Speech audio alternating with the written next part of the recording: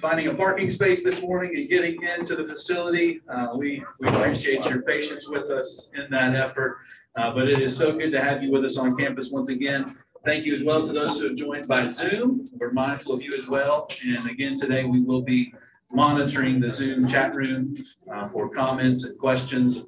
Just as we did last week, there will be uh, a, a time for question and answer, uh, but we want to make sure that we do that in a orderly fashion so everybody can be heard. So we'll give you some instructions about that as well.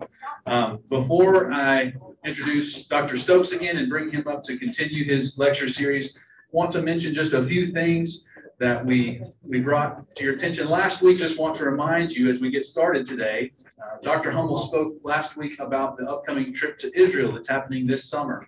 Uh, So the dates are June twenty-second through July second for the tour. And then after that, there will be a further excavation at Tel Lachish. So uh, if you would be interested in joining uh, that group for the trip, we can get you more information about that. If you would be interested in helping to sponsor a student who would maybe like to go on the trip but is concerned about the financial requirements of that trip, um, that would be an amazing opportunity to bless a Tusculum student and give them a trip of a lifetime. So if you'd be interested in helping to, to support a student go, that's an opportunity as well. So any information you would like about the Israel trip, please let us know. Dr. Hummel will be leading the trip. Uh, he has a lot of experience and expertise in the field, and so I know it's going to be a blessing to those who participate. Uh, also, I want to mention uh, the ministers' luncheon that's coming up on March 2nd.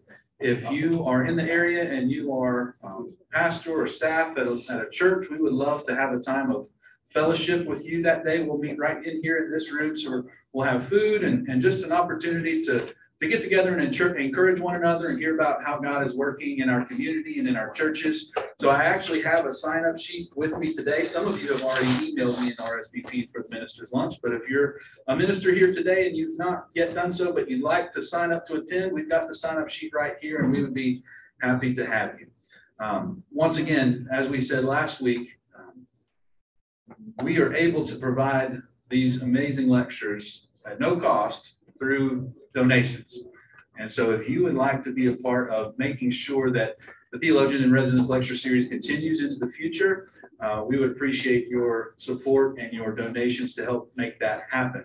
Uh, we do have some uh, pledge envelopes and pledge cards available out here at the table. Uh, if you would like to give specifically to Theologian in Residence, you can mark that. If you'd like to give for the Israel trip, you can mention that as well. If you would like to give uh, just more broadly to campus ministries here at Tusculum and support the work that we're trying to do in edifying our students spiritually, you can do that. If you have any questions about these things, please don't hesitate to let me know.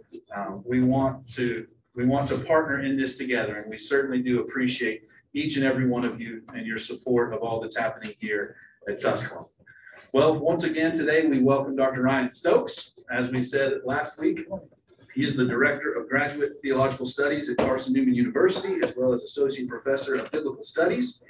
His book, The Satan, How God's Executioner Became the Enemy, was published in 2019. Uh, several of you have asked about getting copies of the book. He hopes to have some with him next week. So uh, he said he plans to have about 20 copies next week. So we'll see how quickly they go. uh, but I know several of you have asked, so he's going to try to provide those. Uh, and we appreciate him once again being with us. So let me say just a word of prayer, and then we will have the first hour of lecture and presentation. Just as we did last week, we'll take a break about 11 o'clock and then continue on through noon when we're dismissed for lunch. But thank you once again for being here. Let's pray. Father, we're so grateful for this day, for this opportunity to learn, to study your word together, and to think about these things that are so important. We thank you for Dr. Stokes. We know he has worked hard to come to an understanding of these things, and we are so appreciative of him sharing that wisdom with us today. And we ask that you would help us to all do as your word says, to love you with all of our minds, to think well about these things, to think in a way that honors you and that honors your word. Thank you for this beautiful facility, this campus, and this university where we can come together for such special events like this and these cherished traditions.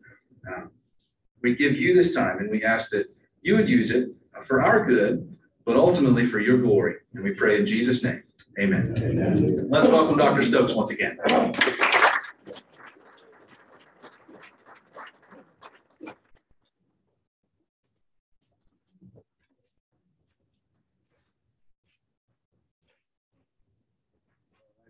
Oh, yeah. No. How about now? You have that.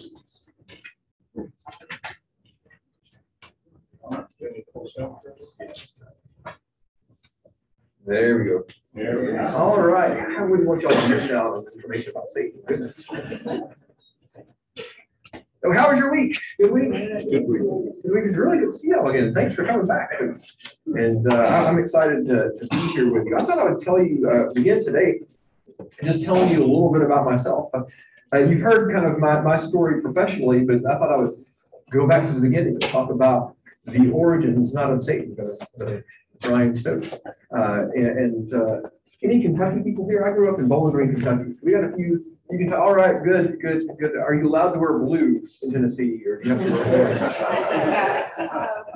I, I think you- You should say neutral. Orange and blue probably don't mix together well, uh, but, uh, but, oh, that's, that's, there is the Florida. I forgot about Florida. But, uh, yeah, I, I grew up in Bowling Green, Kentucky, which is, uh, the place where Corvettes are manufactured. Uh, any Corvette fans here? Some Corvette fans? Okay. Uh, Bowling Green, Kentucky is also the headquarters of Fruit of the Loom. I I shared this at the beginning of a sermon at a church one time, and people applauded when I mentioned Corvette. There were some Corvette fans there, apparently. Then I mentioned the, the underwear, and I got an even bigger applause. Pastors, when you're church, when you're out of town, you never know how your congregation is behaving. Uh, but, uh, so, so I grew up in Bowling Green, Kentucky. Um, I, I was blessed to, to grow up in a home uh, with two parents who were both believers. Uh, my father and mother, they they grew up on adjacent farms in western Kentucky, and, and they met one day when my father hopped the fence and walked across my mother's farm to buy a watermelon uh, from my mother's father. They were 17, she was 17 and he was 19 uh, when they got married. What's interesting though is that uh, my mother's family was Baptist and Republican, very Republican, as a matter of fact. My father's family was Methodist and Democrat. Uh, So when they got married, this, this is funny, but it's not joke. This is exactly what happened. My, my father, they, they made a deal when they got married that my, my dad would join the Baptist church if my mother would register to vote as a Democrat. Party would register to vote. And and that was, that was the deal that they made. So I'm kind of a product of a, of a sort of mixed marriage. Uh, I have some other family stories I can tell you where our marriages weren't as mixed as they should have been. Uh, but, uh, but I was a product of, of a bit of a, yeah, some of you know what I'm talking about. That's definitely a story for another time. Uh, but, uh, today we're talking about mixed marriages, or at least that's where we are going to start with Genesis chapter six, verses one through four. Uh, when the people began to multiply on the face of the ground and daughters were born to them, the sons of God saw that they were fair and they took wives for themselves of all that they chose. Uh, Then the Lord said, My spirit shall not abide in mortals forever, for they are flesh. Their days shall be one hundred twenty years. The Nephilim were on the earth in those days, and also afterwards, when the sons of God went into the daughters of humans, who bore children to them. These were the heroes that were of old, warriors of renown. Now, I remember the first time I noticed this uh, this passage.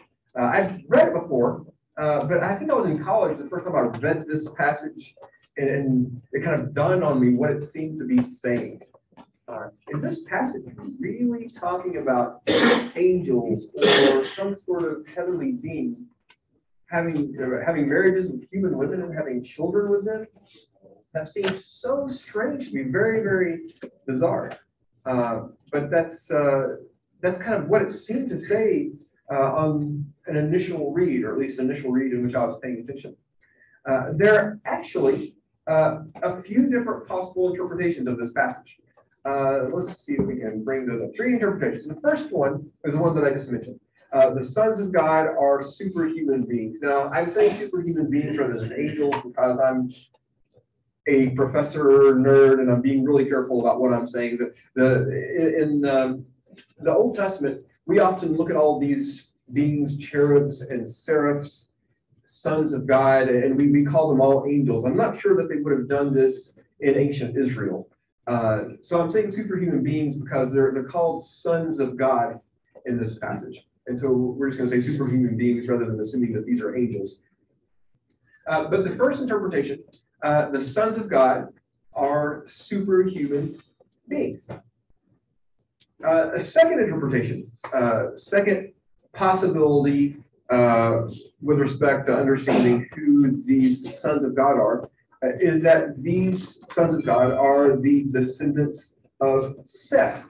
Now, you may recall uh, Adam and Eve, the first human couple, they had two sons, Cain and Abel. The older son, Cain, murdered his younger brother, Abel. Uh, after Abel had been murdered, Adam and Eve had a third son whose name is Seth. And in Genesis uh, chapters four through five, we get genealogies uh, of Cain and genealogies of, of Seth, or genealogies coming from Cain and Seth, and we, we learn about their descendants. And so one possibility is that the sons of God here are the descendants of, uh, well, the sons of God are the descendants of Cain, and this is like a godly line, a chosen line, so to speak. Uh, and the daughters of men, or the daughters of humans, those are the descendants of Cain, who are not godly. So that's that interpretation. So the sons of God marry the daughters of men. That's not about angels or superhuman beings marrying human women. It's about two different families uh, of humans intermarrying, the family of Cain and the family of uh, Seth. Third interpretation that has been proposed uh, is that the sons of God are human rulers. In the ancient world, uh, often the language of divinity or, or the language of divine sonship would be used to refer to kings.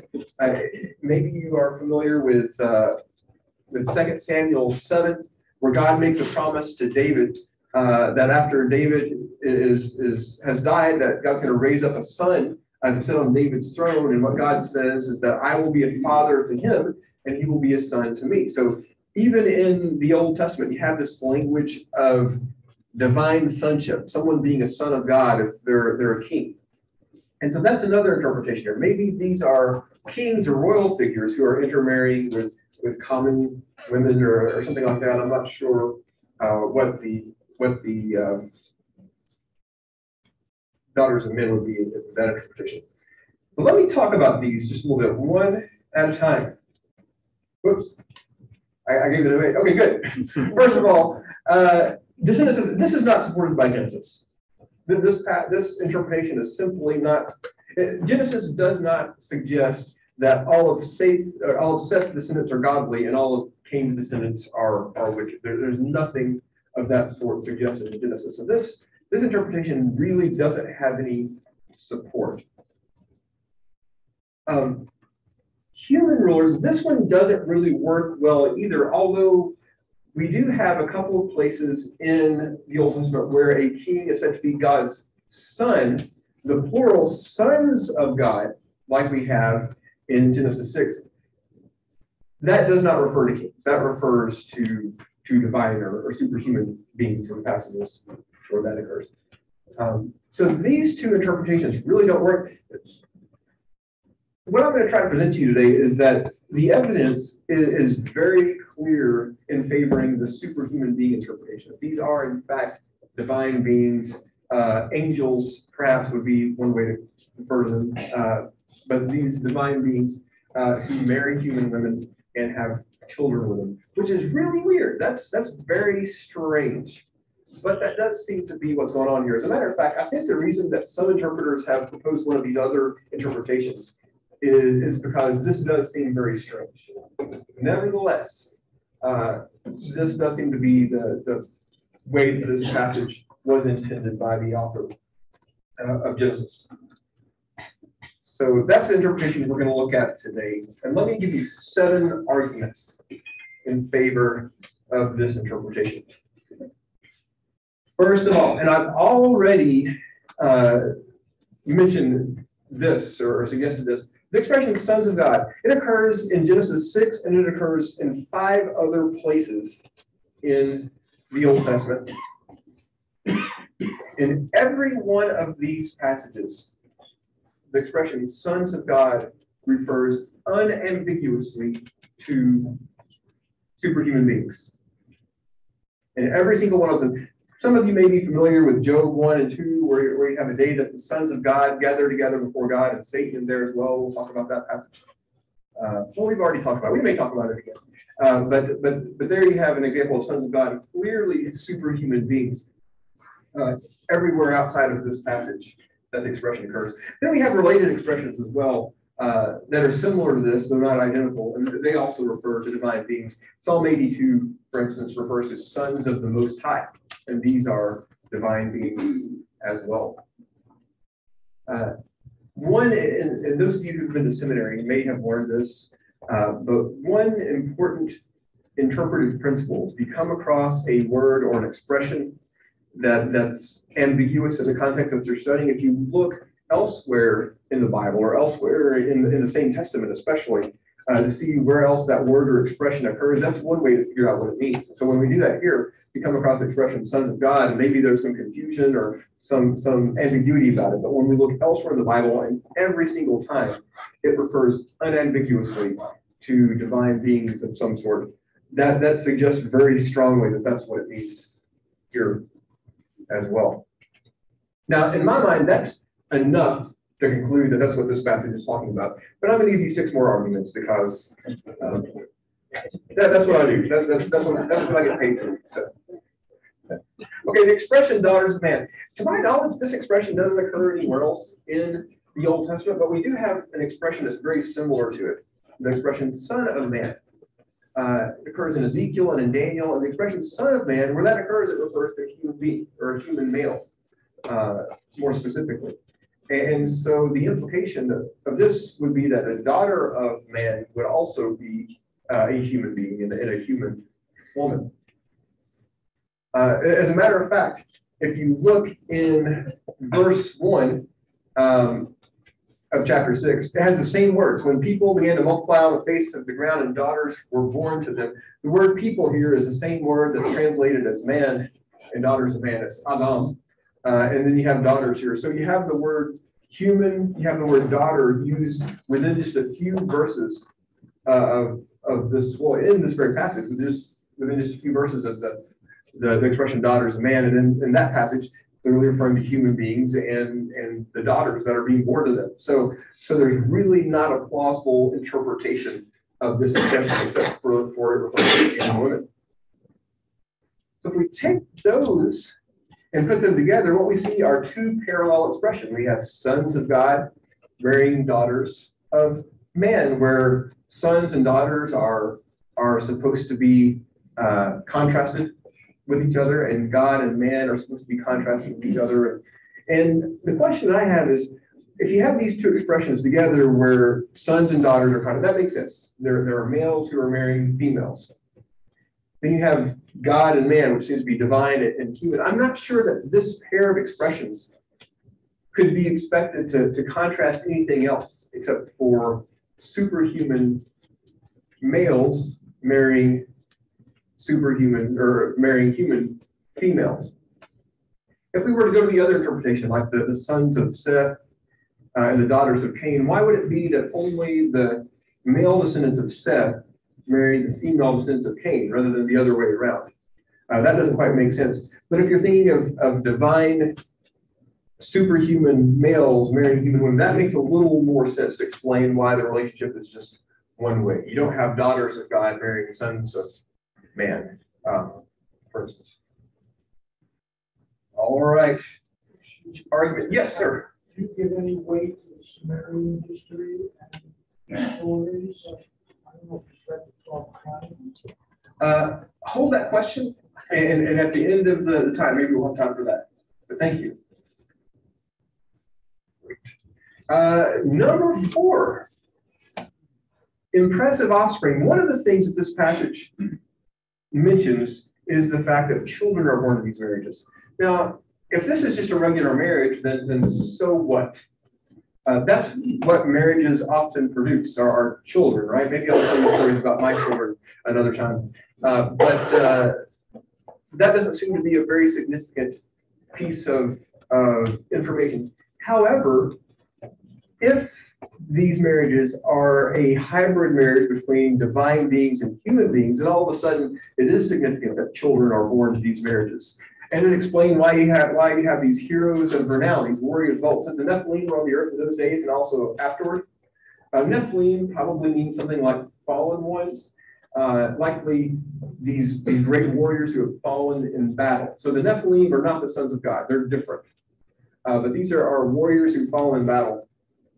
They were on the earth in those days, also afterward, when the sons of God went into the daughters of humans who bore children to them. These were the heroes that were bold warriors of renown. So, so the probably the most straightforward way of reading this text is that the Nephilim are the children that are born to these marriages. And these are these great warriors that are remembered um, in, in the stories of, of ancient Israel.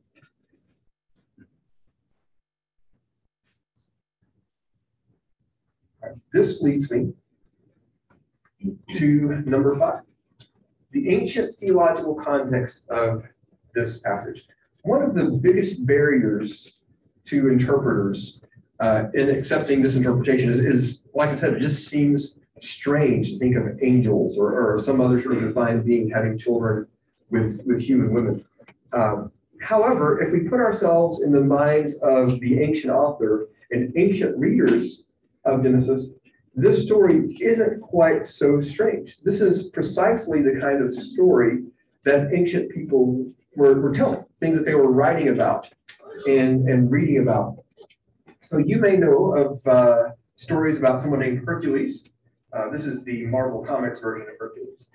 Uh, I don't know what the actor's name is. Uh, Perseus, uh, you know, has a divine have a has a divine father and a human mother uh, Gilgamesh from the ancient Near East, those are those are Greek Greek myths. Uh, and and uh, Gilgamesh in the, the, the Near East, he was two thirds divine. Now, I'm not sure how that happened. but, uh, but he was two thirds uh, divine. So this makes a whole lot of sense. Now, I'm not saying that Genesis 6 is about Hercules or that Genesis 6 is about Gilgamesh or or Percy, but simply that this is these are the kinds of stories. In the ancient world this was the kind of story that people considered plausible uh, considered to be helpful. And it's not it would be surprising to find this kind of story uh, in the old testament. As as strange as it may seem to us in our 21st century western mindset all right this is the earliest known interpretation of this passage. So the, the idea that Genesis 6 verses 1 through 4 refers to divine beings marrying human women, this is the earliest interpretation that we have. Uh, the text I'm referring to here is, is First Enoch, or actually a segment of First Enoch, uh, called the Book of the Watchers, that dates around the third century BC. So, so 250 to 300 years before the time of Christ, people were reading Genesis and they were reading Genesis 6 and, and finding in that story uh, a, a, a, story about angels who, who've sinned uh, by rebelling uh, against God and marrying human women. Let me read to you a, an excerpt. Uh, this is First Enoch 6, verses 1. Now, let me clarify. The book of Enoch is not in the Bible. So, so it's not in, unless you're a member of the Ethiopian Orthodox Church, uh, it is not in your Bibles. Uh, so this is this isn't one of the apocryphal uh, books that you, you might have if you go to a Roman Catholic church um, or Deuterocanonical uh, book. Uh, so, so for the large majority of, of Christian traditions, this is not part of the Bible for them, but it is a book that was written roughly speaking between the Old and New Testament, you know, a few hundred years before the time of Christ and, uh, and, and it was a book that was very widely circulated and very popular at this time uh, and used and read by Jews. Uh, here's what it says in chapter six. When the sons of men had multiplied in those days, beautiful and comely daughters were born to them, and the watchers, the sons of heaven, saw them and desired them. So the sons of God here, they call them sons of heaven and watchers. And we actually have the, the word watcher at one place in the Bible. Anyone know where we have a watcher in the Bible? Close. Close. In, in Daniel, the book of Daniel, uh, we have a watcher mentioned, and let me, I'm gonna get this sorry. I'm gonna say chapter four of Daniel. Um, Story of Nebuchadnezzar going crazy for, for several years. Uh, and there's a watcher that decrees that this is going to happen. So you have an angelic being called watchers. Sons of heaven. Uh, they saw the, the daughters of men and desired them. And they said to one another, Come, let us choose for ourselves wives from among the daughters of men, and let us beget children for ourselves. At this point, you get a nice long list. I'm not going to read it to you, a list of, of about 20 watchers and their names.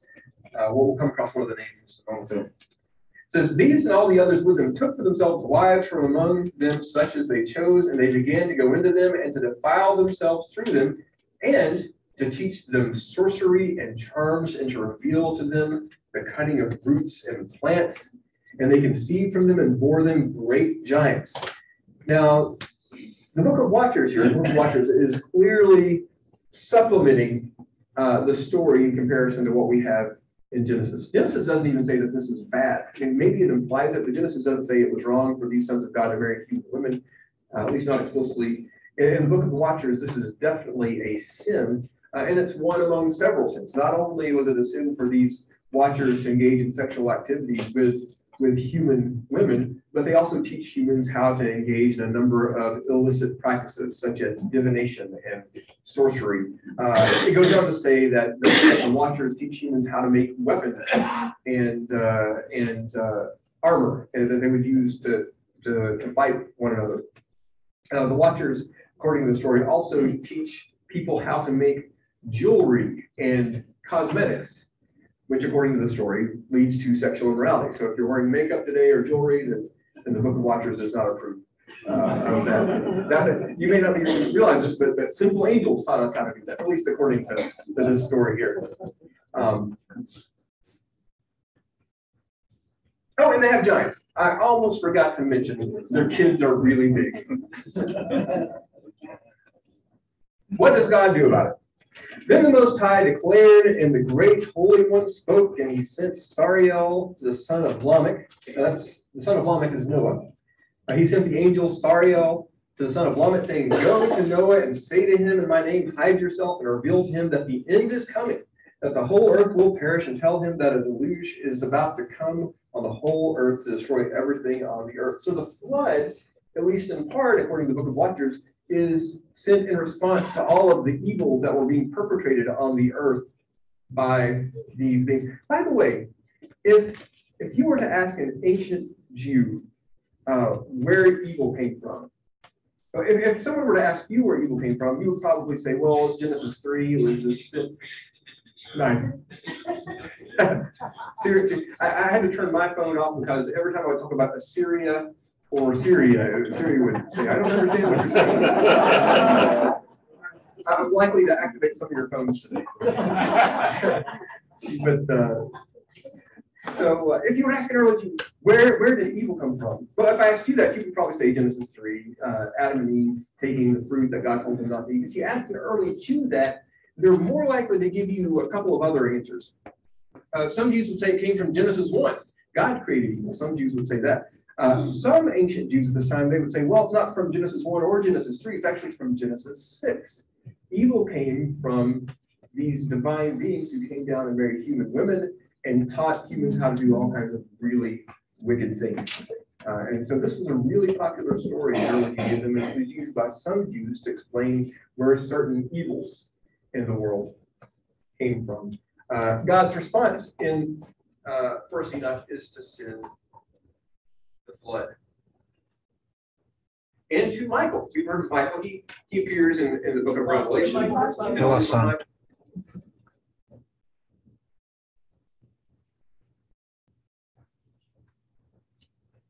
Is it back now? All right, tell me if it goes off again. So Michael, we come across Michael in the book of Daniel, we come across Michael in the book of Revelation. Jude mentions Michael as well, maybe somewhere else, I can't remember. Uh, but in, th- in those places.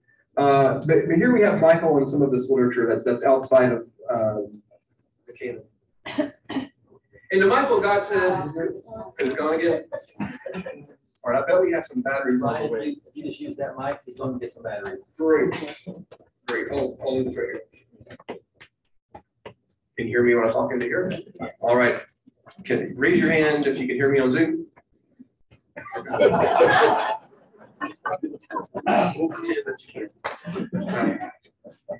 We got confirmation.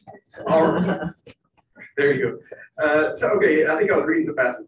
And the Michael, God said, go Michael, bind Shemihazah. That was one of the fallen angels who came down and had children and taught them and bad stuff. Uh, and the others with him, uh, so go bind Shemihazah and the others with him who've mated with the daughters of men so that they were defiled by them in their uncleanness. And when their sons perish and they see the destruction of their beloved ones, bind them for seventy generations in the valleys of the earth until the day of their judgment and consummation, until the everlasting judgment is consummated. So God sends a flood to wipe out all of the sinful human beings uh, who'd learned the Watcher's teaching. Uh, God sends Michael to bind the Watchers, or bind these sons of God, to imprison them until the time of the judgment. This was a very, very popular story, a very, very popular interpretation of Genesis 6 uh, in early Judaism. We come across it in another book, second century BC, uh, Book of Jubilees. By the way, I think we'll talk about the Book of Jubilees next time as well, because Jubilees has a lot to say about Satan. Uh, but uh, let's look at the what the Book of Jubilees here says about this story. When humanity began to multiply on the surface of the entire earth, and daughters were born uh, to them, there's a typo there, born to them, uh, the angels of the Lord in a certain year of this jubilee saw that they were beautiful to look at, so they married them, uh, or so they married of them whomever they chose. They gave birth to children for them, and they were were giants. So there's another text, and there are others as well uh, that interpret the passage this way. This is the earliest known interpretation of Genesis 6. Now remember exactly what that interpretation is, because we're going to come across it again in just a moment. So not only is this the earliest known interpretation of the passage that was very widespread and popular in Judaism, but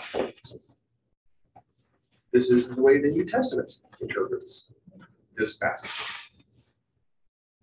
So for those of us who are, are, Christians and look to the New Testament and Old Testament as, as our guide, uh, yeah, I think it's significant that the, the New Testament also uh, interprets the passage this way. Let me give you a couple examples. Uh, Jude 6. And the angels who did not keep their own position, but left their proper dwelling, he has kept in eternal chains and deepest darkness for the judgment of the great day. Sounds a lot like that Watcher story, doesn't it? These angels who left heaven and did what they weren't supposed to do, and, and God has bound them, uh, imprisoned them until the day uh, of the judgment. Oh, this is extra. I won't charge you for this. Uh, this is extra here. Uh, Jude actually quotes the book of Enoch, the book we were reading a second ago. He actually quotes from it. Um, he says it was also about these that Enoch and the seventh generations from Adam prophesied, saying, See, the Lord is coming with ten thousands of his holy ones. The, the quotation continues, but, but Jude actually quotes from the book of Enoch and, and, and, and uh, credits Enoch with the quotation. Think about that while I change better.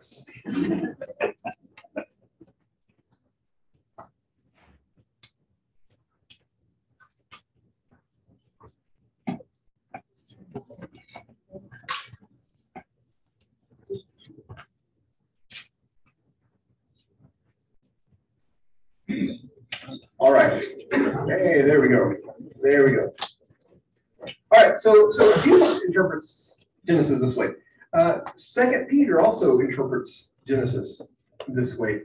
Uh, For if God did not spare the angels when they sinned, but cast them into hell and committed them to chains of deepest darkness to be kept until the judgment.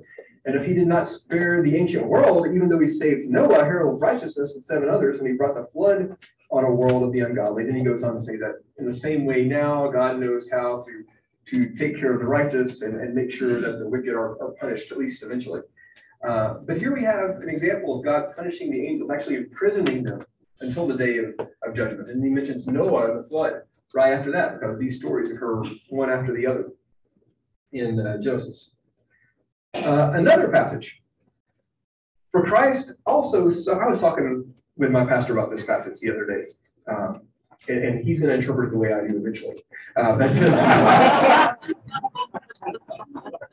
Some of you may know him, so I- I'm, I'm gonna stop talking right there. Uh, So for Christ also suffered for sins once for all, the righteous for the unrighteous, in order to bring you to God. He was put to death in the flesh, but made alive in the spirit, which I believe is talking about the resurrection, being spiritually raised. Not that he wasn't bodily raised, but it's a different sort of spiritual body. Uh, in, in which he went and made a proclamation to the spirits in prison, who, who in former days did not obey when God waited patiently in the days of Noah. So who are the spirits who sinned back in the days of Noah and were in prison? Those are the sons of God. Yeah. So this is how, they- there's actually another passage in the New Testament that I'm not going to mention, that's a little more complicated. But these passages, I think, are pretty clear uh, in interpreting Genesis six the way, or at least a similar way to the way that um, First Enoch, Jubilees, and other early Jewish texts do. Uh, Seven arguments. Uh, For me, the, the, the one that really uh, persuades me, I mean, there, there are several here that I think persuasive, but, but just the fact that the expression sons of God is heard several times in the Old Testament, it always refers to divine beings. Uh, that, that's hard to deny the significance of that. Uh, but then you see the other six arguments, the meaning of the, the expressions daughters of man, the uh, comparison of or contrast of the sons of God and the daughters of man, their offspring, the ancient theological context, the earliest interpretation of the passage, and the New Testament's interpretation of the passage. I don't know how we're doing on time. Is it a good time to stop and have questions? Depends on how many questions you want. How was that? We got about, I was gonna say, we've got about twenty minutes till eleven. Oh, okay, so, so, oh, let's, let's, let's go for some questions. That's fine. And if we, if we end up breaking a little early and then come back, we can, we can play it by ear. Yes, ma'am. Do daughters of man have a choice in this marriage? That's a great question. Um, Genesis does not say. Uh, it doesn't imply that, that it was consensual or that it was not consensual. Genesis simply doesn't, doesn't say. Now, Jewish texts interpreted this in, in different ways. Uh, I don't think in any of them did they make it sound like the daughters were unwilling. There's some, and, and you can, this is kind of what you would expect that some ancient texts, uh, that there's one passage in another part of First Enoch that kind of blames it on the women that they they they learn how to make jewelry and cosmetics and they seduce the angels. So so that's what you're more likely to find in the ancient literature than the women not having a choice. Um, but Genesis itself doesn't say, it just says that sons of God marry human women. There's no no implication of it being consensual or, or not consensual.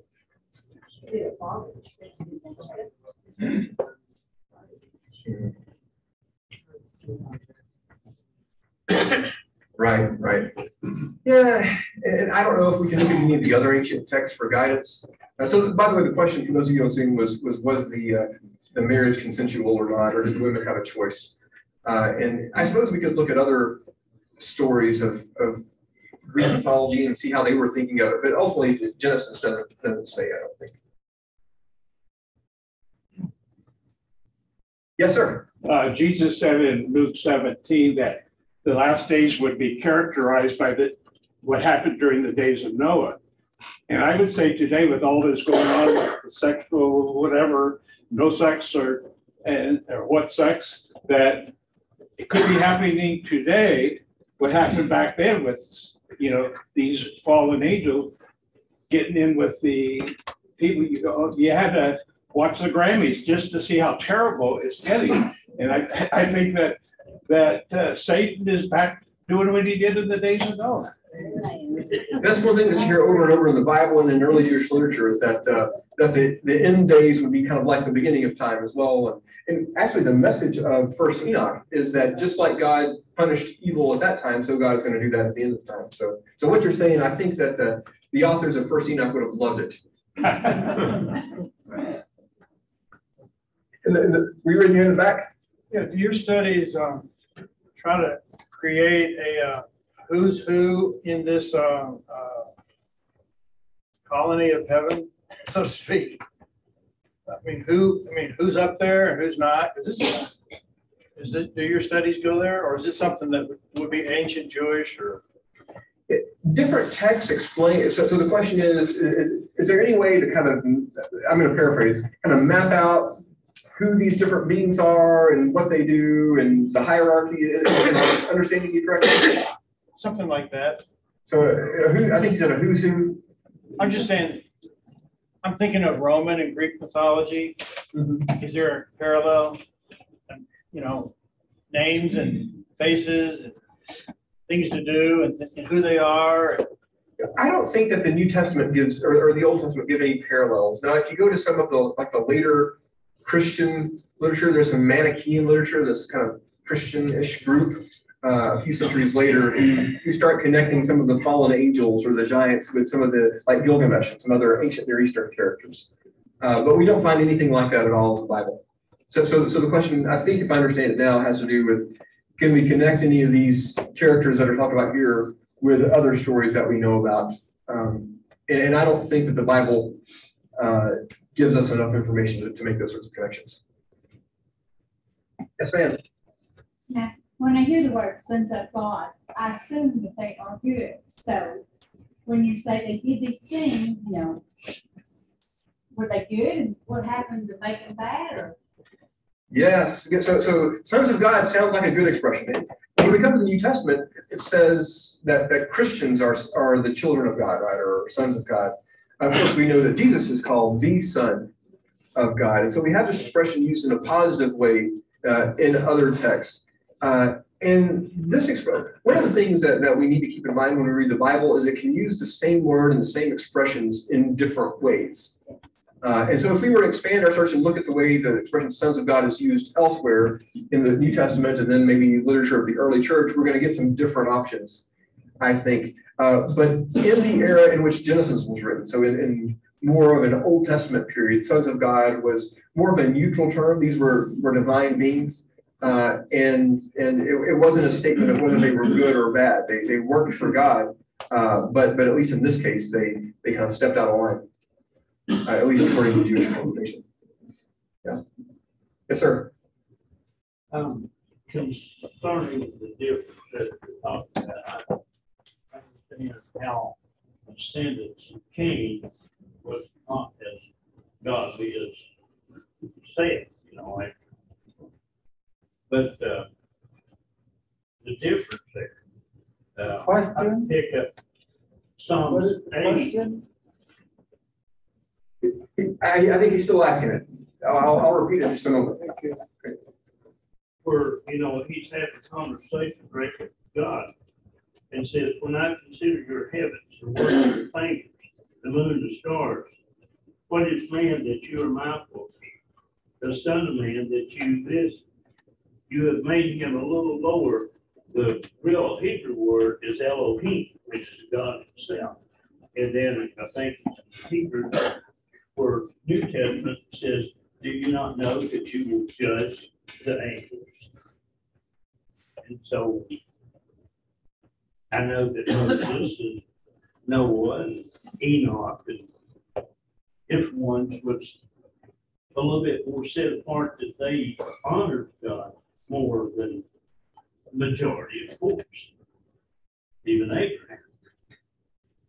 And so I'm picturing that when they talk about the Son of Man, or Son of God, it's all humans that originally made in the image and likeness of Creator himself. Okay, see if I can summarize your question for the on Zoom. Uh, so when you hear the expression son of God or sons of God, you, you mm-hmm. were inclined to interpret that as human beings who are Mankind that he originally created. A mankind that he originally, and- who are the daughters of man in that case? Well, I mean, like what you said, you know, when man and woman get together, you want to have offspring, that's what we're told, Genesis one twenty-six. But, you know, you got men that honor God more and, you know, make him more devout, Okay, but the overall human was literally created a little lower than Elohim. Sure. Okay, okay, I think I understand now. You- You're going kind of with the, the, the Seth, you made a case for the Seth versus Cain interpretation, where, where all humans are created in God's image. Uh, and, and we're all sons of God to some extent, but, but especially those who are living more the way God wants them to live. So, so you're reading this as godly humans marrying ungodly humans. That is a possibility, yes. And that, that's the way some people. In general created this little lower. Good, very good. Yeah, so, so you don't have to agree with me. I'm not gonna impose on you that you agree with me. You can, you can continue to, to interpret. I, I tell my students that they have the right to be wrong. Uh, You certainly, but I actually talk about this with students. And the three points, point, and I don't, I, I don't give this lecture to, to- I give it, it's a little different when I give it to my college students. Uh, but this, the main point I make I, I don't say that this passage is, is, is important that they interpret it the way that I do. I mean, very few of you, if you, if you change your interpretation of this because of the lecture, you're not gonna have to go revise your, your statement of faith for your churches or, or anything like that, or, or withdraw from your denomination or, or anything uh, like that. This isn't a major theological issue. The, the reason that I think it's, it's helpful for students to look at this though is because of what we can learn about interpretation uh, from this passage. Uh, one thing I think we can learn is, is when you come across an ambiguous expression, you can look elsewhere in, in the Bible to see how that expression is used. Uh, another thing that I, I, I, I stress to students is just because things may seem strange to us doesn't mean uh, that it would have been strange in, in ancient times. And that's important to keep in mind, the cultural distance between us and the Bible. And that goes, well, the third thing which relates to this that, that I stress to, to students is that one really important characteristic of good biblical interpretation is simply an openness to the Bible saying something that seems weird to us. Uh, if we're expecting the Bible to tell us things that, that we would tend to agree with anyway, then I think we're going to misinterpret it in some places. And if we're open to the Bible saying something that's strange, then we're in a better position to see what it's actually saying. And, and I explained this both historically and theologically. We're talking about a text written in a place far different from our own, in a time far different from our own, in a culture very different from our own. And we should expect it to have some things, there's standards uh, of what is to be expected and what is strange where we're different from our own. Uh, and so we should expect it from a historical standpoint to have some things that are different. Also, from a standpoint of revelation, and- and I, at Carson Newman is a Christian University, so I can talk about the Bible as revelation uh, there as well. If, if the Bible is divine revelation, as I believe that it is, then wouldn't that seem to suggest to me that God is going to tell some things that we wouldn't have figured out on our own? And whether, whether it's something about angels that we wouldn't have expected, whether it's something about God's nature that we wouldn't expect. I mean, I, I didn't see the Trinity coming. Uh, that's that's that's uh, or or, Jesus's that that's hard for me to wrap my head around. That the Bible talks about it. Uh, ethics: love your neighbor as yourself. Pray for your enemies. That's not something that I would have made up myself. Uh, and, and so, if we're, we're going to understand the Bible correctly and apply it correctly, part of that is simply being willing to say, you know what, that's not what I would have guessed on my own, but that's what it says. Good answer, good answer. So, thanks, thanks, thanks. You taking the love offering? Uh, that's it. I love your, love your presentation. Uh, a couple of thoughts. Um, the, the whole chapter five of Genesis is the genealogy of, of Seth, basically, and the messianic line. Um, and the other thing from Ephesians six, it says our battle is not against flesh and blood. You know, he mentions principalities and powers and all these things make us think about spiritual beings. But then, uh, so I, I'm just back and forth all the time with the Bible because it, it's not one clear picture to me.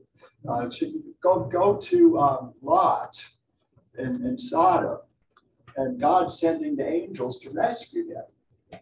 So, you know, so angels talk to people, angels uh, rescue people physically. They, they also, uh, uh, you know, uh, disappear apparently from, from our sight.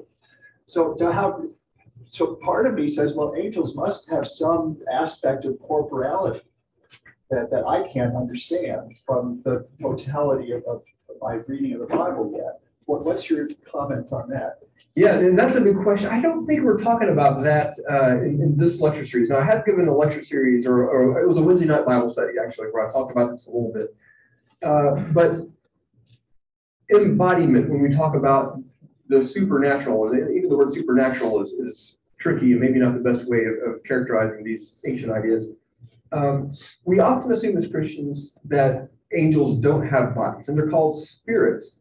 But in ancient Greek, also, just in the ancient world, I don't think they were thinking of these beings as, as things that lacked uh, corporeal forms or, or lacked bodies, but it was a different sort of body. Right. So it's not fleshly bodies, it's a spiritual body. And it's, it's in humans one day, according to, to Paul, will have spe- uh, spiritual bodies. Whatever that, the heck of it is. What- Whatever that is, right, right? It's, and it's, it's different from what, what, uh, what we have now.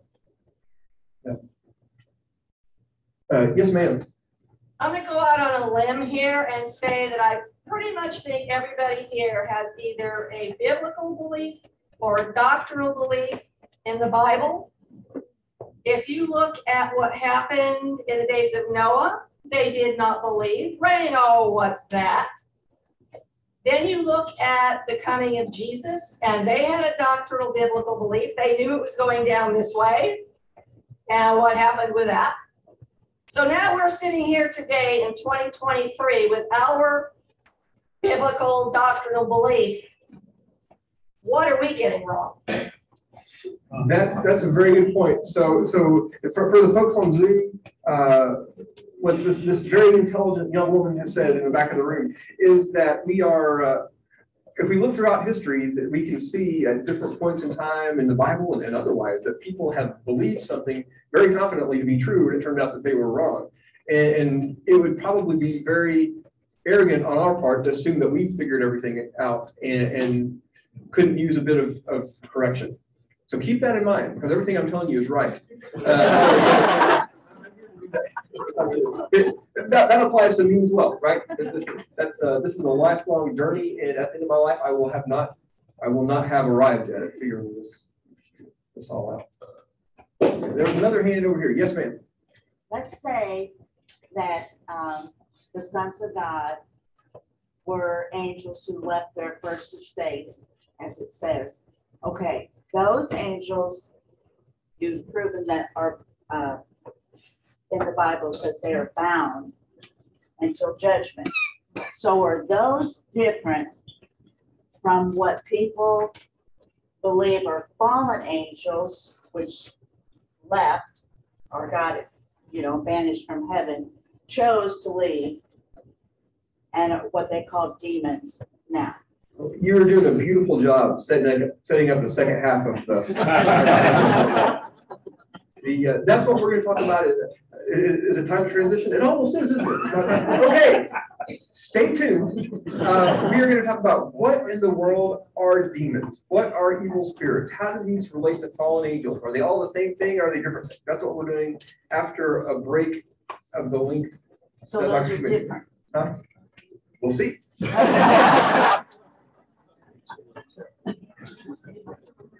Thank you, Dr. Stokes. Uh, we're gonna take a quick break. We will reconvene at ten after eleven. So if you need to use the restroom or get another cup of coffee, I believe they, they gave us some refills over there. So eleven to about twelve o'clock in order to go downstairs for a lunch. Come share with us again.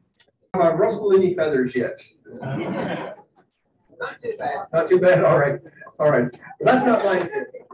Do keep in mind that we're, that we're moving uh, chronologically, it is on.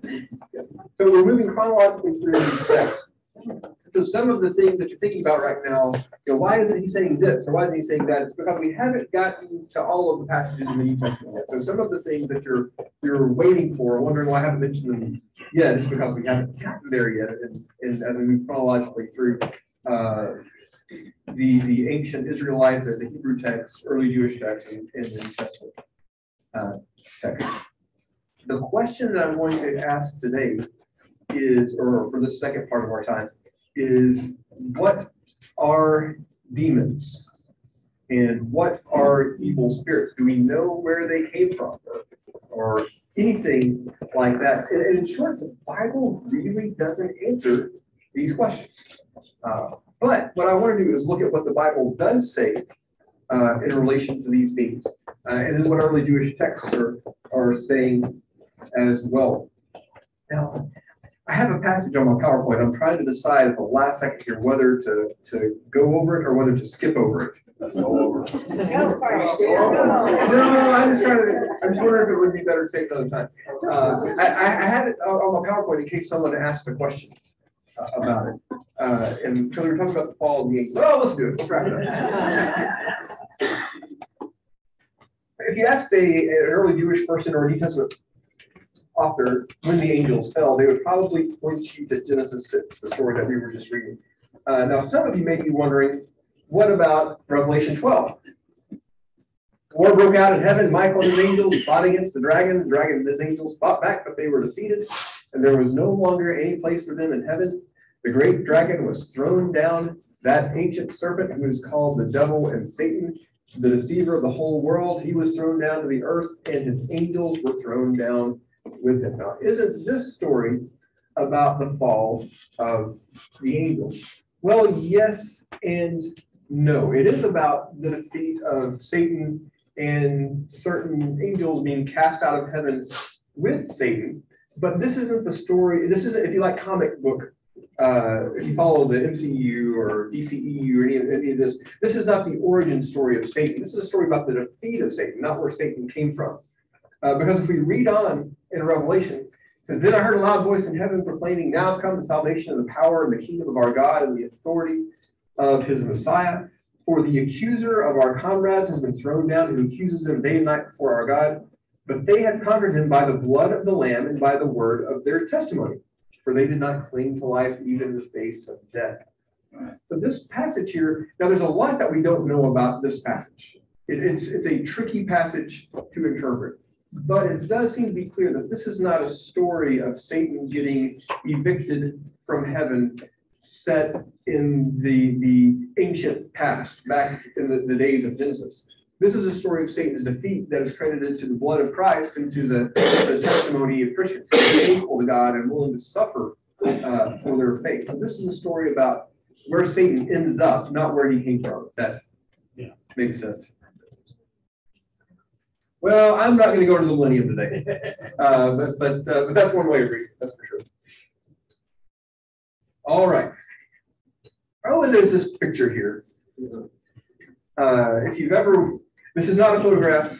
uh, This is, this is an artistic rendering. Uh, here you have, Og, he's a character we, we meet in, in the book of Numbers, uh, that Joshua and, and the Israelites defeat, but he, he's, he's said to be very, very large. He's riding a giant unicorn uh, that has ropes tied to its horn by which he is pulling the ark. Uh, I don't know if Noah is pointing, saying, take me over there, or he's waving at him. Uh, Og kind of reminds me of the Jolly Green Giant, the way he's.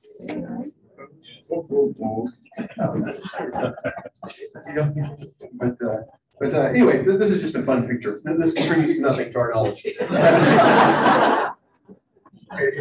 Here's our topic now. What exactly are demons uh, and evil spirits? The- terminology is a little trickier uh, the word demon is actually a Greek word, so we don't see the word demon in the Old Testament. There is a word that is, or a couple of words that are frequently translated as demons, however. So let's look at, at the words that we have in the Bible for demon. The main one, the one that's gonna kind of get the most traction in early Judaism and uh, even in, in early Christianity, at least through translation, is the word shadim. And we don't know exactly what this word means. The word only occurs twice in the Old Testament, so we don't have a lot to go on to figure out what the word means. But I'll come back to, to that in a moment. Uh, in Greek, we have the word di, uh, daimonia. We have this in the New Testament, also the Greek translation of the Old Testament. Uh, the word shadim is translated daimonia. Uh, daimonia is the word where we get the word, or is the, the Greek word uh, from which the word demon is derived. Yes, sir. How about the Septuagint? Is that Shadi? That's not Daimonia, uh, the Septuagint, so the Septuagint is the Greek translation, Yes, so in the Septuagint, you're gonna have Daimonia. okay, but that's what they translate, uh, Shadim. That's right, so, so where you have Shadim in Hebrew, the Greek translates that Daimonia. Good, so the question is, is what word does the Septuagint word use the Septuagint? Meaning the, the Greek, the ancient Greek translation of the Old Testament that was originally written, uh, in Hebrew. All right, another, uh, bit of terminology that we should be aware of, uh, is evil spirit. Uh, in Hebrew, this is ruach ra'ah. Now, this is not going to be on the quiz at the end of our time. Uh, so, so don't feel pressured to, to furiously write down the Hebrew and Greek words. Uh, the Greek, uh, in Greek translation, this is pneuma poneron. And those simply there's nothing fancy about this. Ruach ra'ah means evil spirit. Uh, pneuma poneron means evil spirit. So this is not one of those things where say, here's the Greek word and it really means this and all your translations are wrong. No, your translations are just fine. Um, uh, these are the expressions in Hebrew and Greek that refer to evil spirit. Now, we want to talk about what the word evil means in this context because evil is a very ambiguous word. Uh, it has a wide range of meanings. So we'll, we'll come back uh, to the expression evil spirit. Let's start off with the shadim. So uh, the shadim are mentioned in just two texts in all of the Old Testament. The first one is Deuteronomy chapter 32, verses 16 through 17. They made him jealous with strange gods. With abhorrent things, they provoked him. They sacrificed to demons, not God, to deities they had never known, to new ones recently arrived whom your ancestors had not feared. So there we have Israel sacrificing to demons and angering God by, by worshiping uh, these demons. These demons are identified with gods of other nations or foreign gods, gods other than, than uh, Yahweh, the God of Israel. Similarly, in Psalm 106, uh, referring to Israel, that they mingled with the nations and learned to do as they did. They served their idols, which became a snare to them. They sacrificed their sons and their daughters to demons. So these are the only two places in the Old Testament where Shadim are mentioned. Now, there are other figures mentioned who, who could be demonic as well. We'll look at a couple of those. Uh, but, uh, but this is the only two places where you have the word shadim, uh, which is going to be probably the more important one uh, moving forward in, in the tradition. Uh, let's move on for now to evil spirits. You really just get one passage, or I mean, uh, depending on how you define a passage. So there's a the story of David and Saul is where you get an evil spirit uh, in uh, Testament. It says, Now the Spirit of the Lord departed from Saul, and an evil spirit from the Lord tormented him. And Saul's servant said to him, See now, an evil spirit from God is tormenting you. Let our Lord now command uh, the servant to attend you, to look for someone who is skillful in playing the lyre. And when the evil spirit from God is upon you, he will play it, and you will feel better. And whomever, or and whenever the evil spirit from God came upon Saul, David took the lyre and played it with his hand, and Saul would be relieved and feel better, and the evil spirit would depart from him. This is really fascinating. You have an evil spirit uh, that's that's going to be from the Lord, who's tormenting Saul, and David apparently is able to exorcise the spirit, or at least provide Saul relief from the spirit by playing a musical instrument. So lots of really interesting things going on there. Uh, part of my research was looking at ancient Near Eastern texts, uh, Akkadian uh, writings or Babylonian writings, uh, and what they say about evil spirits. And, and there's some really fascinating stuff in there. Uh, but one of the ways that you can drive out an evil spirit is by banging a copper drum. So if you have a ever had a child who's learning to play the drum set, you know uh, that, that certainly drives any sane being from the ring. Uh, but uh, banging a copper drum, these uh, these evil spirits, they were primarily blamed for physical uh, physical afflictions. Apparently, the Babylonians had lots of digestive issues because most of the demons that we read about are are ones that are causing them, them problems. One of the demons is named Shulak of the toilet, for instance. Uh, so if you're looking for a username for the church Facebook page or something like that, uh, Shulak of the toilet is a, is a great one. Um, but here we have an evil spirit that's troubling Saul. We don't know exactly what, what the nature of the trouble is. We get a little bit of a clue. Um, in, in chapter eighteen, verse ten, it says, the next day an evil spirit from God rushed upon Saul, and he raved within his house while David was playing the lyre as he did day by day. Uh, so here it says that Saul raved. The word here is the same word that's used to prophesy. Saul is doing what a prophet does when the spirit comes upon him. And this seems to be some sort of ecstatic thing. Maybe he, he falls over. We have another story where the spirit of God comes upon Saul and he falls down and lies naked all day long. Uh, and people look at Saul naked and say, Oh, I didn't know Saul was a prophet. Uh, if you take a spiritual gift test and it says that your gift is prophecy, uh, be careful because you never know what that might require of you. But Saul, Saul uh, lay down naked and wasn't able to, to pursue David. So maybe he's doing something like that here. He's somehow incapacitated. Uh, and, and David's playing the lyre uh, provides some sort of relief for Saul. And this is actually a clue to what the word evil means in evil spirit. The word evil in this passage doesn't seem to suggest that the spirit is morally evil or in rebellion against God. Now we'll get to that a little later. But evil could also mean harmful. Kind of like the word bad in English. Um, sin is bad, but but so was Carson Newman's loss uh, on the baseball field on Wednesday uh, to Tusculum, I think. That was- that was. At least it was bad, bad in, in Jefferson City. Uh, so the word bad can be used lots of different ways, and this this is a bad spirit or, probably a spirit that's harmful, uh, and that's what it's doing to Saul. It's it's it's, it's not a, a spirit of sin. The spirit is actually from God, but it's harming Saul, and, and so that's what the expression evil spirit means in the Old Testament, at least. Look at another uh, passage. Um, Isaiah 13, 19 through 22. This is talking about uh, the, the defeat and destruction of Babylon. In Babylon, the glory of the kingdoms of splendor and pride of the Chaldeans will be like Sodom and Gomorrah when God overthrew them. It will never be inhabited or lived in for all generations. Arabs will not pitch their tents there. Shepherds will not make their flocks lie down there, but wild animals will lie down there. And its houses will be full of howling creatures. Their ostriches will live, and their goat demons will dance. Hyenas will cry in its towers, and jackals in the pleasant places. Its time is close at hand, and its days will not be prolonged. Now, the word here translated as goat demons, there is debate about it. It could be a goat demon, or it could just be goats. So how do you know if it's a goat demon or a goat? I don't, I don't know. Share, share the gospel with it and see if it reacts funny. Does it smell, smell, the goat, goat demon smell worse than regular goats? Or you think regular goats? Holy water. Yeah, so, so it's, when you have a list of animals in the Old Testament, it's, it's hard to know. It's the same thing with plants. We just get these in lists and we don't often have a lot of context for understanding what's going on.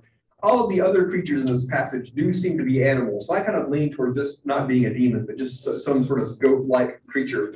Uh, but, uh, but it is translated as goat demons. So some of your translations, if you look up this passage, it'll translate this as or goat demons or something like that. Here's a similar passage also in Isaiah. Uh, but the hawk and the hedgehog shall possess it. The owl and the raven shall live in it. Thorns shall grow over its strongholds, nettles and thistles in its fortresses. It shall be the haunt of jackals and abode for ostriches. Wild cats shall meet with hyenas. Goat, there's a Kentucky joke in there somewhere, isn't there? Goat demons shall call to each other. There too Lilith shall repose. Anyone heard of Lilith? Yes. This is a, a, uh, someone asked me about gender, uh, between our sessions. Here, here, Lilith comes to be regarded as a female demon and later in Jewish tradition. Now, is that the Lilith we're talking about here, or is this just another animal? It's, it's hard to tell. Uh, I read some commentators who say this is just some sort of bird that makes noise at night. And I read other commentary, commentators who say that this is, uh, this is the demon, uh, Lilith in the Old Testament. There too Lilith shall repose and find a rest. There shall the owl nest and lay and hatch and root in its shadow. There too the buzzard shall gather, each one with its mate. Uh, one more passage from Leviticus. Uh, the priest shall dash, dash the blood against the altar of the Lord at the entrance of the tent meeting and turn the fat into smoke as a pleasing odor to the Lord, so that they may no longer offer their sacrifices for goat demons. So here you have worshiping goats or worshiping goat demons. Can they prostitute themselves?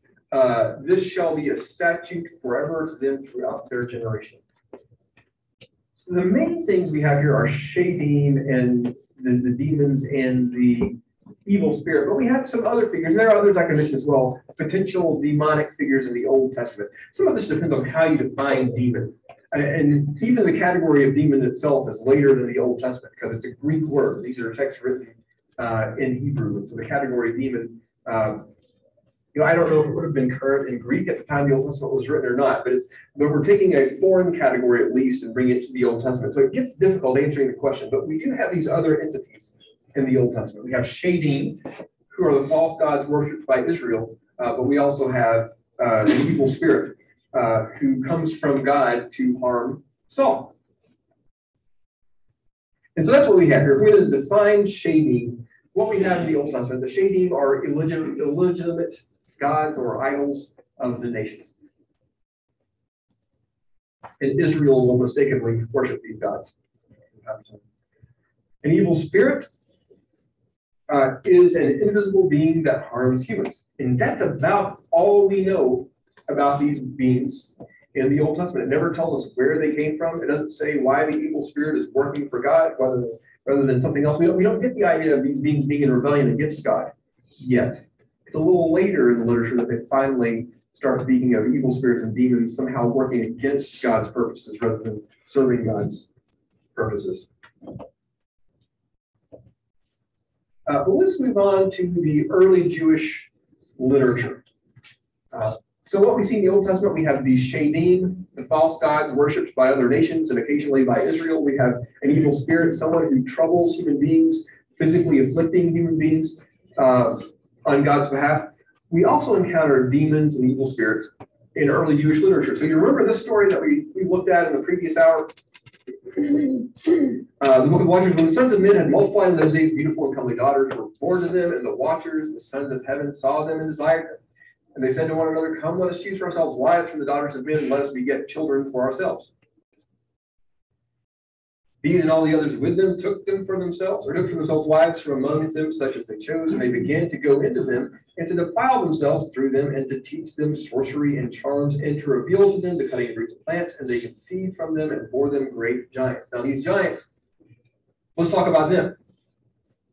So looking ahead at First Enoch 15, the giants who were born to the, the hybrid marriages of the sons of God and the daughters of men says, but now the giants who were begotten by the spirits and flesh, they will call them evil spirits on the earth.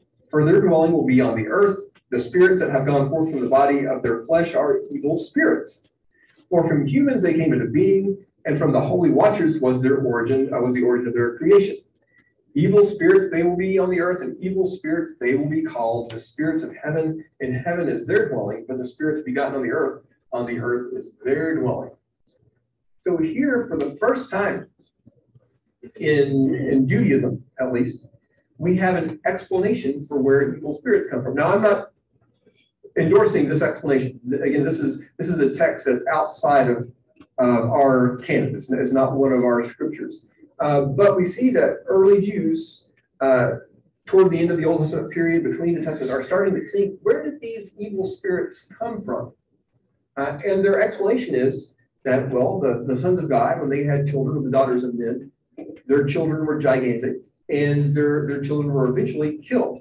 However, there's this spiritual remnant of these giants. The giants were killed, uh, their flesh was put to death, but spiritually they live on in the form of these evil spirits. So where do evil spirits come from? They're the children of the sons of God and the daughters of men uh, from Genesis 6, or at least the spiritual remnant of them. Well, what do they do? That's where they came from. What do they do? And the spirits of the giants consume, do violence, make desolate, and attack and wrestle and hurl upon the earth and cause illnesses. And that sounds a little bit like what we have in Saul's case, where he's harming Saul physically, but we're getting getting a, perhaps an expansion of what they're doing here in comparison with, with 1 Samuel uh, 16 and 18. They eat nothing. Remember that. We'll come back to that in a second. They, they don't eat, apparently. These Babylonian demons, often they wouldn't eat either. So if a, if a person's not eating, uh, that may be a symptom of demonic affliction. Um, they abstain from food and are thirsty and smite. These spirits will rise up against the sons of men and against the women, for they have come forth from them from the day of the slaughter and destruction and the death of giants, from the soul of whose flesh the spirits are proceeding, they are making desolate without incurring judgment. Thus they will desolate until the day of the consummation of the great judgment. So what are the evil spirits doing? They're going around making people all kinds of sick. They're making people sick in a lot of different ways, and they're going to do that until the judgment day.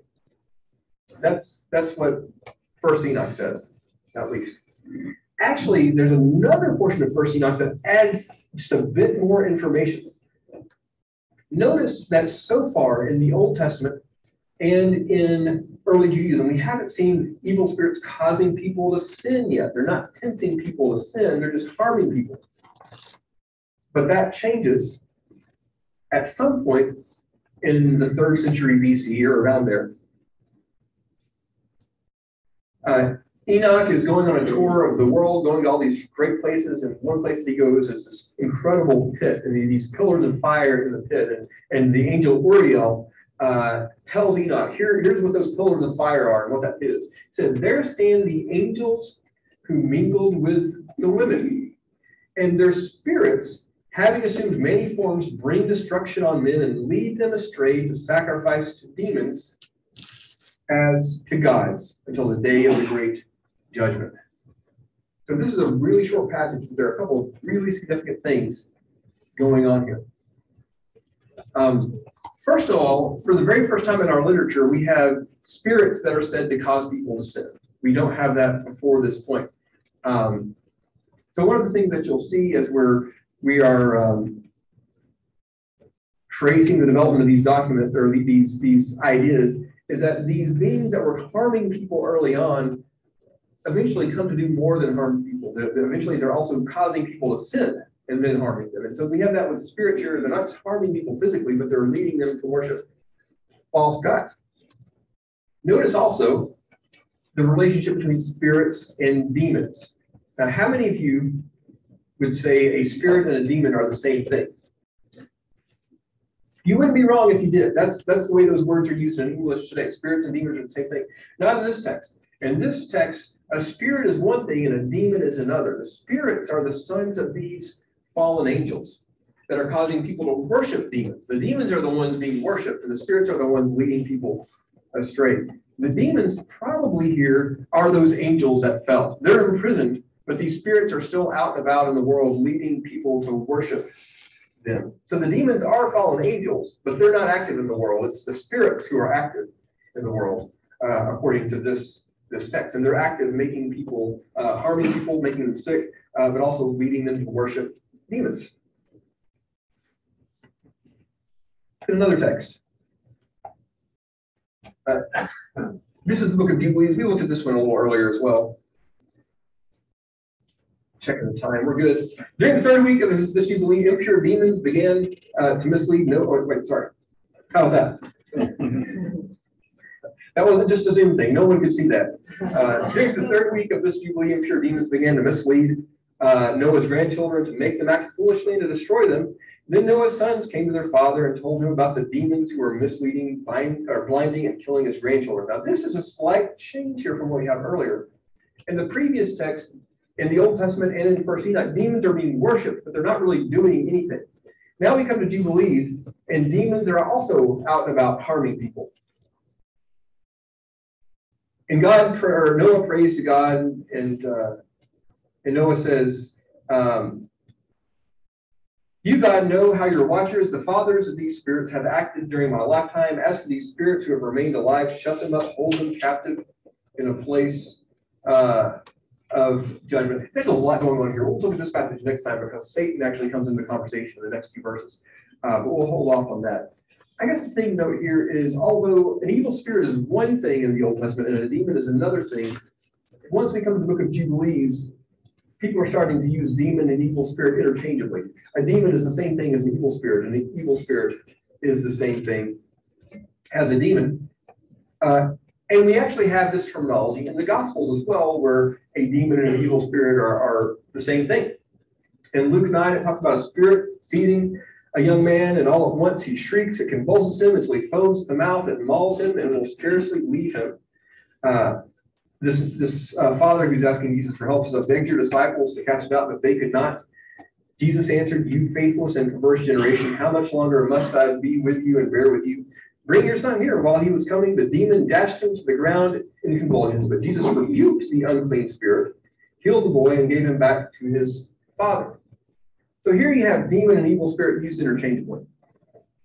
So just to summarize in short, in the Old Testament, a demon is a god worshipped by the nations or, or Israel. An evil spirit is somebody who harms people.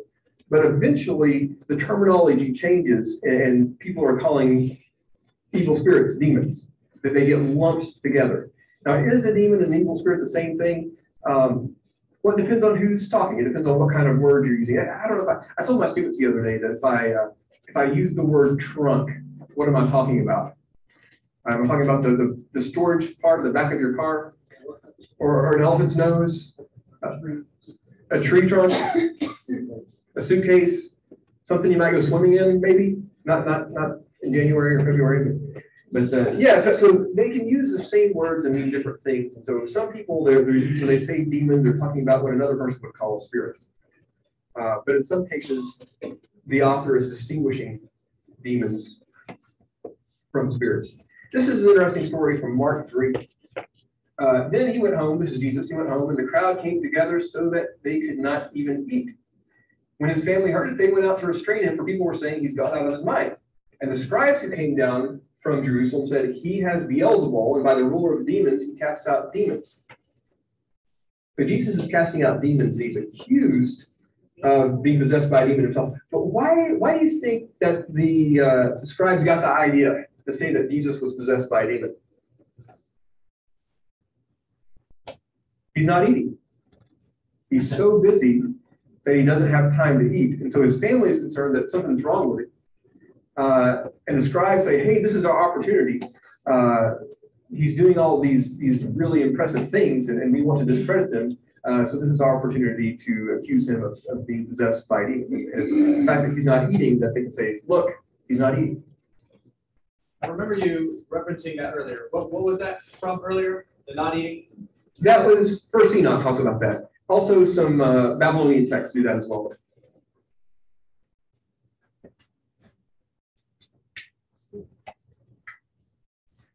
Demons and evil spirits throughout most of the New Testament are probably interchangeable. The terminology, they're talking about the same thing, but we do have some instances in the Bible where it seems to be talking about one and not the other. Uh, in First Corinthians, uh, Paul talks about people who worship uh, food sacrificed to idols uh, and, and and people who are not Christian or Jewish, uh, they're worshiping their own deities. And, and Paul says that these deities are demons, not God. And so this is kind of like what we have in the Old Testament, where people are worshiping demons, not worshiping uh, God. Uh, Paul never says, or the New Testament never says that anyone is worshiping an evil spirit. You don't worship evil spirits, you worship demons. So that's why you have the word demons here. Uh, let's see, one other passage here that's, that's interesting. In 1 Timothy 4 1, now the Spirit expressly says that in later times some will renounce the faith by paying attention to deceitful spirits and teachings of demons. Now, most commentators say that these are, this is kind of two ways of referring to the same thing. Uh, deceitful spirits and teachings of demons are both the same thing. But what I've argued is maybe um, these are actually two different things. Uh, spirits are out and about deceiving people. The demons are in prison, but they're the ones who taught sorcery and divination and, and these other sorts of things. Their teachings, although the demons themselves are in prison, their, their teachings are still out and about. Uh, and, and so uh, I wonder if in First Timothy 4, this is having the same sort of distinction that we find in, let's say, First Enoch, where you have evil spirits who are leading people astray, but demons who, who gave humankind these various teachings. They're not currently active, but their teachings are still still very, very present.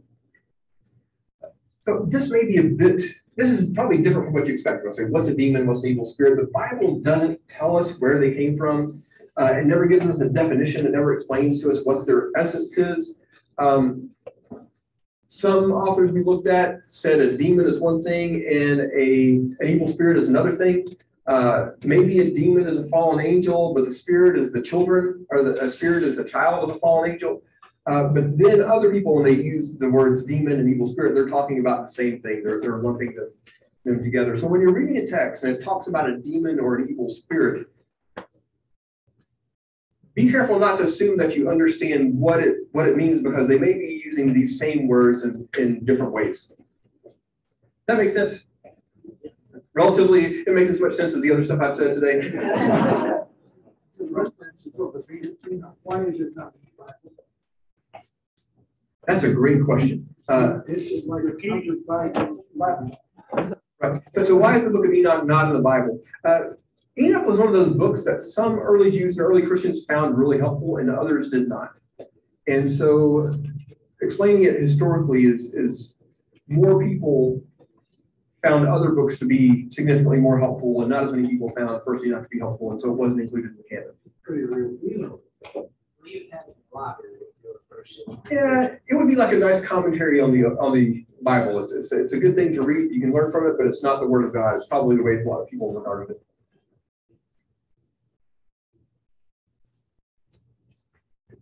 All right.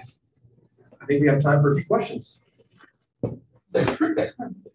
Yes, Um, My wife and I had the experience of being in the midst of this in nineteen sixty-nine. We went to the island of Dutch New Guinea, uh, which is called West Papua now, as missionaries, and our assignment was to go into an unreached tribe of people.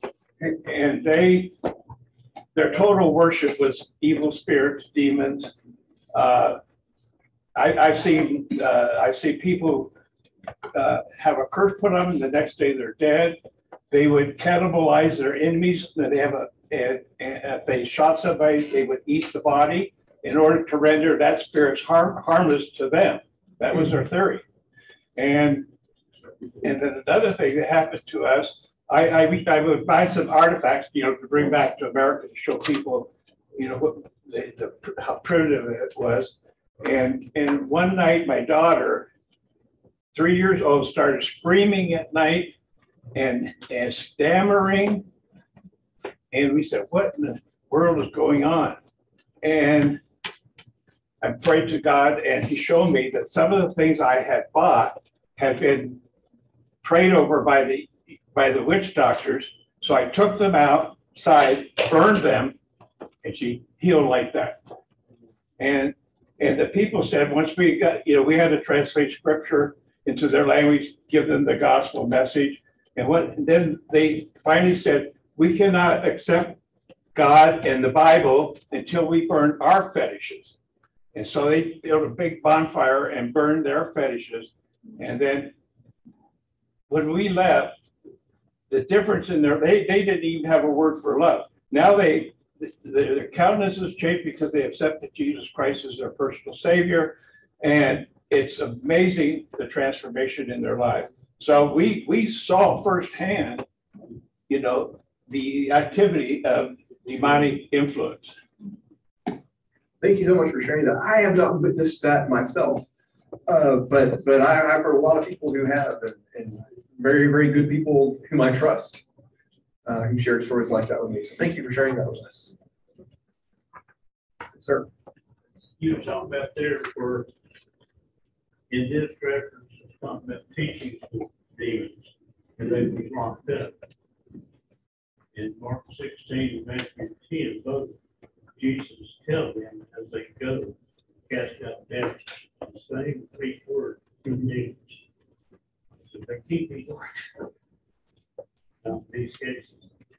Oh, right. In that case, so you, you, you mentioned a couple of passages where, where Jesus or his followers are casting out demons.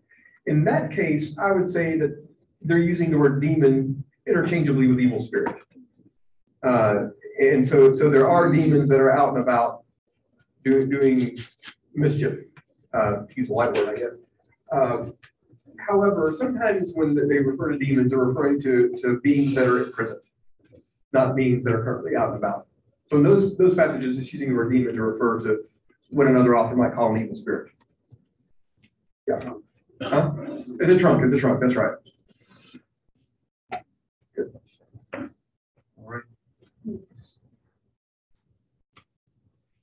What else might?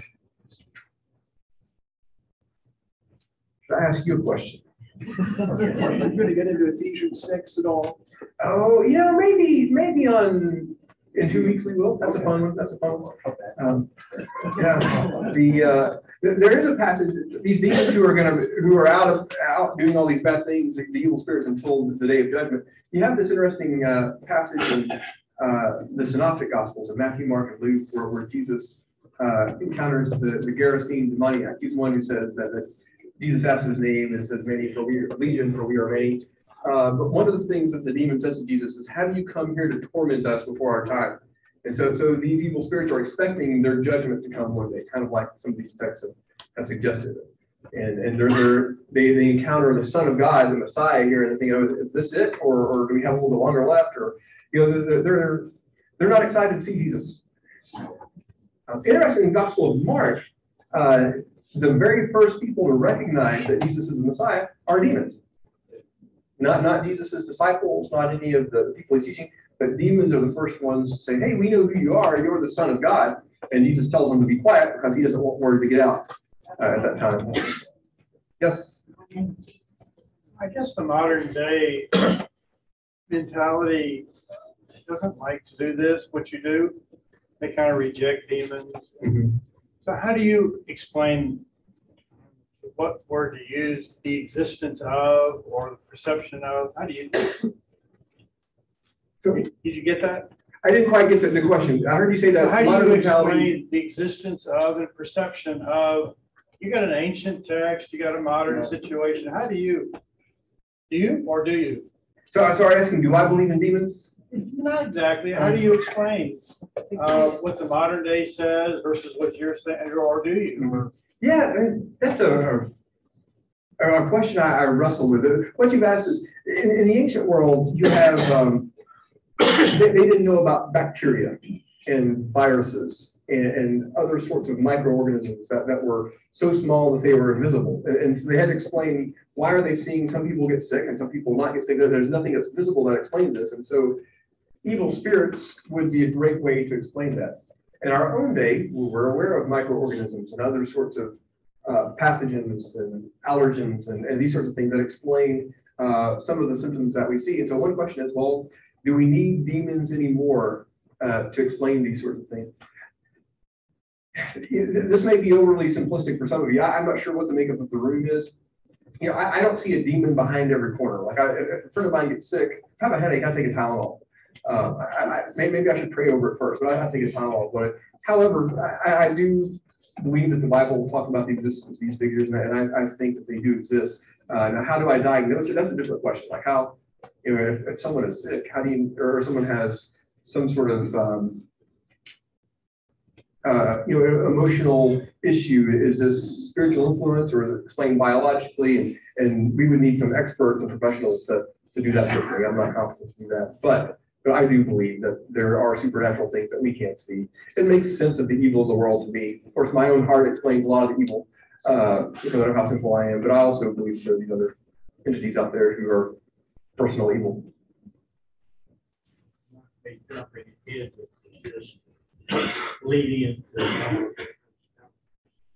I think it does. I think uh, the idea that you have um, these sons of God that we talked about, uh, these divine beings who seem to have some sort of authority and are receiving worship, I think that may relate to the powers and principalities that we encounter in a couple of New Testament passages.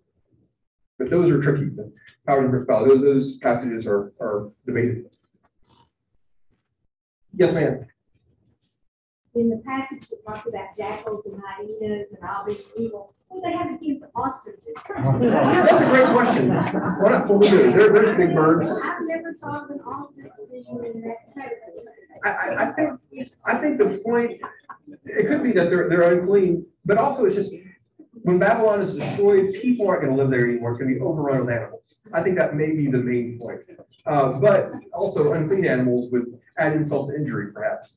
Uh, but, uh, but I think that, I don't think I have anything against ostriches specifically, it's just that you don't want them in your house, you'd rather live there yourself.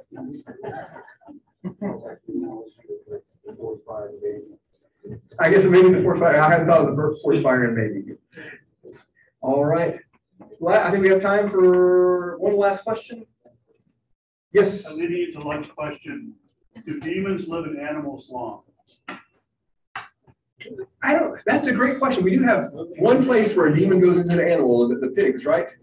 And then the pigs commit suicide, right?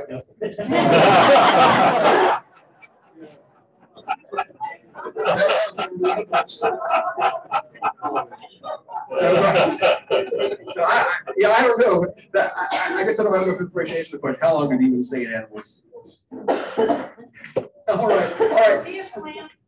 I, I don't, no, he wasn't, but I appreciate it. Thanks for the setup. Um, So, so you need to eat lunch, uh, because you don't want people thinking you're demon possessed, okay? Thank you, Dr.